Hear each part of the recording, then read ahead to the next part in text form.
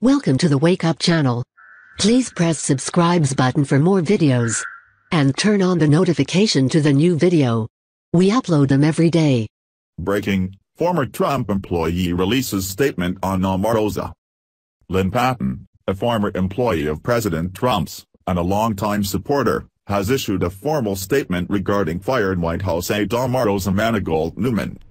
Patton now serves as head of Region 2 of the U.S. Department of Housing and Urban Development, which oversees New York and New Jersey.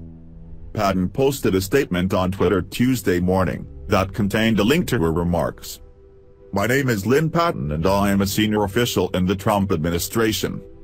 White House leadership, both past and present, can confirm that I was the closest confidant and friend to Miss Manigault Newman during her tenure at the White House, transition and campaign, texting and speaking multiple times per day. To that end, Omarosa attempted to contact me just two days ago, but I refused to accept her call.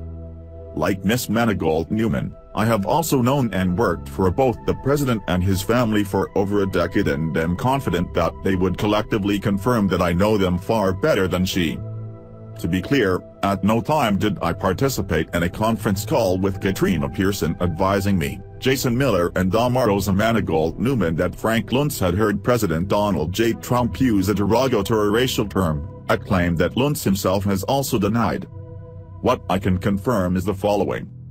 On December 12, 2017, at approximately 11.30 p.m., EST, Dash a date I now know to be the evening Omarosa was relieved of her official duties by General Kelly, I received a telephone call from her informing me that she had personally heard a second-hand recording of President Trump using the N-word in a derogatory fashion. She proceeded to tell me the full name of the individual who played this second-hand tape for her, from whom the primary audio tape had originated, as well as the specific context of the president's usage of this term and to whom the derogatory term was allegedly directed. Omarosa also proceeded to inform me that she had officially submitted her resignation to General Kelly and that I should promptly do the same before the audio surfaced. The next morning, I immediately notified senior communications officials and a Trump family member of the same only to discover the true nature of her departure was termination. Today, the individual who Omarosa confirmed to me as having played the second-hand audio recording to her last year confirmed that they have no tape, never had possession of a tape, never claimed to have possession of a tape and never played such a tape for Miss Manigault Newman.